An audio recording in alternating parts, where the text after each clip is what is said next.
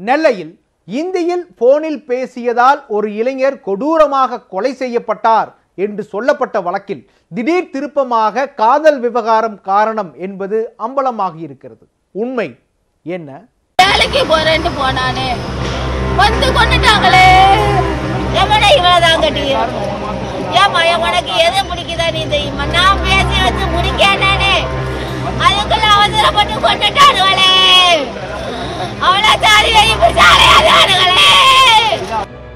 நெல்லை நடுவக்குறிச்சியில் இளைஞர் அடித்துக் கொல்லப்பட்ட சம்பவத்தில் காதலி குடும்பத்தினர் கூலிப்படையை ஏவி கொலை செய்ததாக பெற்றோர் பகீர் புகார் கூறியுள்ளனர். இளைஞர் கொலைக்கு காரணம் இந்தியா காதலி குடும்பமா? நெல்லை மாவட்டம் ஆலங்குளம் அடுத்த நல்லூரைச் சேர்ந்த சதீஷ்குமார் என்பவர்.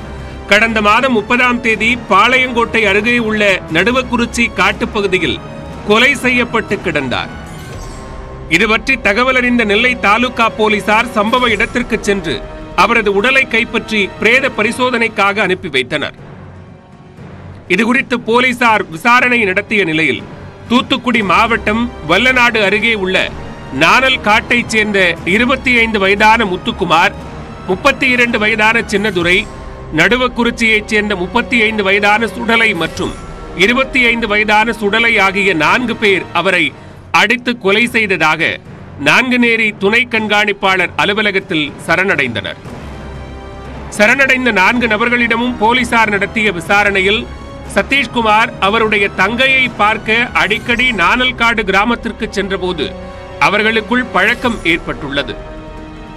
வேலை இல்லாமல் இருந்ததால் அவர்கள் பணிபுரியும் நிறுவனத்திலேயே சதீஷ்குமாருக்கும் வேலை வாங்கி கொடுத்துள்ளனர். ஐந்து பேரும் சேர்ந்து அவ்வப்போது மது குடித்து வருவதை வழக்கமாக கொண்டிருந்துள்ளனர். சம்பவத்தன்றும் அனைவரும் ஒன்றாக சேர்ந்து மது அருந்தியுள்ளனர்.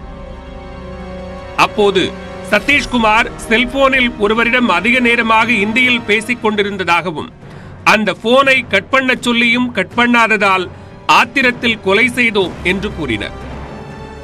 இந்நிலையில் கொலை செய்யப்பட்ட சதீஷ்குமாரின் தாய் தாய்மாமா உள்ளிட்ட உறவினர்கள் நெல்லை மாவட்ட ஆட்சியரிடம் கண்ணீர் மல்க மனு ஒன்றை அளித்தனர். வேலைக்கு போறேன்னு போனானே. வந்து கொண்டுட்டாங்களே. எவனை இவ்வளவுதான் கட்டி ஏமா எவனுக்கு எதை பிடிக்குதா நீ தெரியுமா? நான் பேசி வச்சு முடிக்கேனே அதுக்குள்ள அவசரப்பட்டு கொண்டுட்டாருவாளே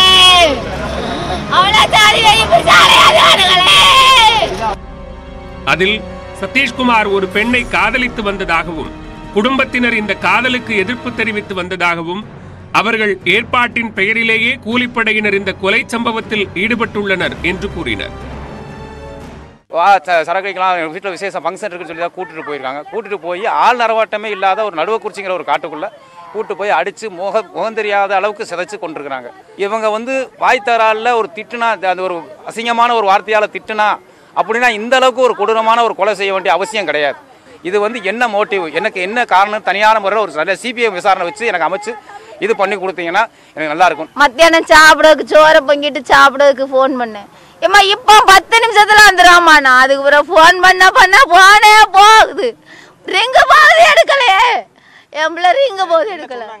ஒண்ணுமே ஒண்ணுமே சொல்லல நீங்க போலீஸ் ஸ்டேஷனுக்கு வாங்கம்மா. உங்களுக்கு யாராவது தெரிஞ்சவங்க பிரசிடென்ட் யாராவது இருந்தா கூட்டிட்டு வாங்கம்மா. உங்க வீட்டால கூட்டு வராதீங்க. பிரசிடெண்ட்டை கூட்டிட்டு வாங்கம்மா. உங்க பிரசிடென்ட் யாராவது ஆம்பளையால கூட்டு வாங்கம்மா. அதைத்தான் சொன்னாங்களே வேற ஒண்ணும் சொல்லல. பொண்ணு வீட்டுக்காரங்க போயிட்டாங்க ஐயா பம்பாய்க்கு. என் பிள்ளைய கொல்ல சொல்லிட்டே போயிட்டாங்க போலயே. என் பிள்ளை ஒன்னாம் தேதி ஊருக்கு பம்பாயில இருக்காங்க ஐயா பம்பாயில இருக்காங்க ஐயா என் பிள்ளை. மல்லிகான்ற பொண்ணை லவ் பண்ணியிருக்கானா? அது பம்பாயில. அவங்க கந்தனா அவங்க அப்பா பேர். வியாபாரம் பாக்காரியா இங்க வந்து அவங்களுக்கு வந்து இட்டமொழி பக்கத்துல அழகப்பாபுரம்னு ஒரு ஊர் இருக்கு. அவங்களுக்கு சொந்த ஊர் அதான். அந்த ஊருக்கு வந்திருக்காங்க எல்லாரும் ஒண்ணு போல ட்ரெயின்ல அதுக்கு லவ் பண்ணதுனால வந்து கூட்டிட்டு போய் வச்சு கொன்னுட்டாங்க இவன் இளைஞர் கொலையில் சரணடைந்தவர்களிடம் முறையான விசாரணை நடத்த வேண்டும் என்று உறவினர்கள் கோரிக்கை விடுத்துள்ளனர். விசாரணை நடக்குமா?